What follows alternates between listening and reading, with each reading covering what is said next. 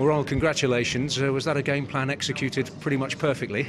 Yes, finally we go to 1-0, yes, and um, but I think we did it well. We uh, we had a very te good team organisation on the pitch, and from the start in the game, we make it very difficult for United. We had good pressing with the three players in front and maybe uh, it wasn't uh, that level offensive-wise because then already in the first half we had to create more chances than we did. But the whole team performance was uh, was good enough to win today.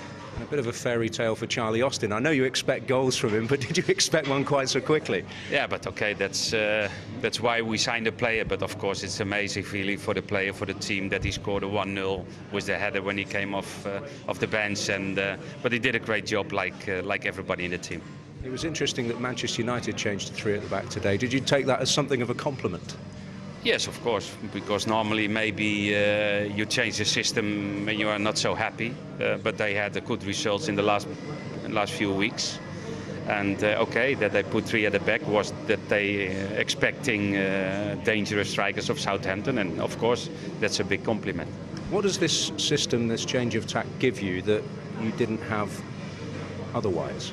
Yeah, well, we had a bad run in results. Not, not, not really bad performances, but the final result was every time 1-0, 2-0 that we lost, and, and then maybe there was a moment. We did it again. Uh, we did it uh, the same way last season when it was a little bit struggling.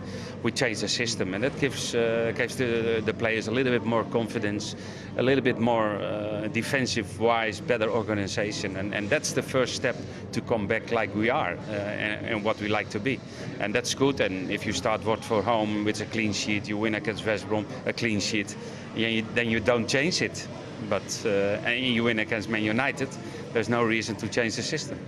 But does it also change your expectations a little bit? Now you've had this run, are you looking sort of very much upwards now?